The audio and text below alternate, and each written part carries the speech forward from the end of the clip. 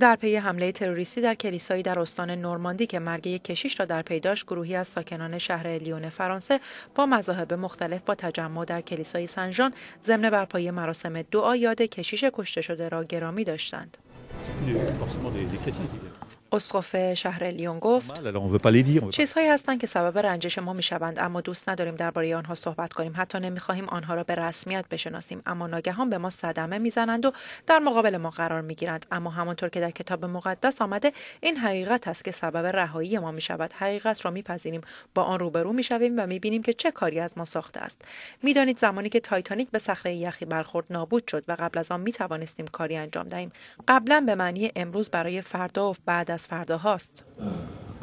یک شهروند مسلمان که در این مراسم شرکت کرده نیز به یورونیوز می‌گوید به اینجا آمدم برای اینکه همبستگی و تاسف و ناراحتی خود را به جامعه کاتولیک ها ابراز کنم. همه ما مسلمانان نیز از این حادثه بسیار متاثر شده ایم.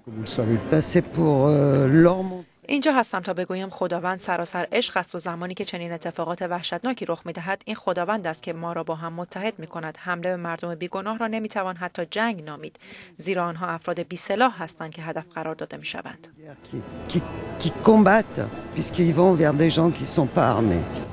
خبرنگار یورونیوز به محل برپایی مراسم دعا رفته و می‌گوید در شهر لیون نیز واکنش ها به این حادثه همچون شهرهای دیگر سراسر فرانسه با اندوه و حیرت و نگرانی همراه بود با وجود این حادثه کلیسا می‌خواهد پیام دوستی و آشتی همراه با بخشش و امید به مردم ارسال کند.